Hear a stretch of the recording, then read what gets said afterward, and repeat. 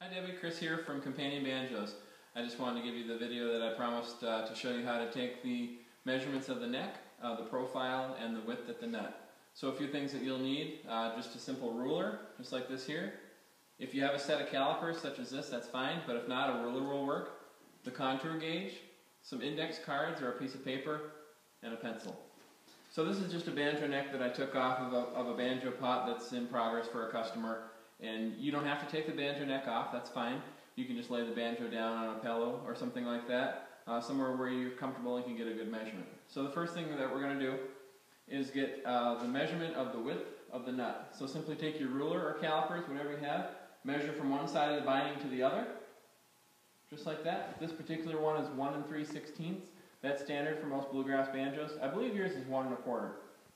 Next thing that you'll want to do is uh, put your banjo somewhere comfortably. I'm going to lay this one down on a 2x4, just simple, so I can get a nice clean measurement.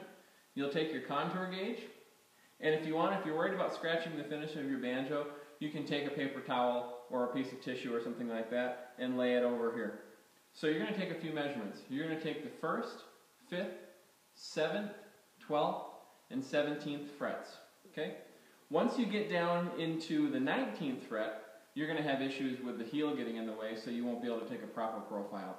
Again, the 1st, 5th, 7th, 12th, and 17th frets are all you need. So you'll take your piece of tissue paper over here. We're going to measure the first fret first. With the contour gauge, just simply push it down. Get a nice profile, just something just like that. There's going to be a few areas that perhaps the pins don't push down on all the way. That's okay. All I really need is the back profile. Then what you'll do is you'll set it on your index card or on a piece of paper. I have some pretty thick construction paper. That'll help me if you use uh, something fairly rigid. And uh, I have a 1 there to represent the first fret. Lay it down like this. Trace the profile. You don't have to worry about this part here. That won't be accurate. Just the back profile is really all I need. Okay? And again, you'll do that for all those frets that I labeled. That's basically how you take the contours, and that's really all I need. In theory, you could do every single fret and the whole banjo for more accuracy, but as long as you do those five measurements, that's totally fine. I can make it work from there.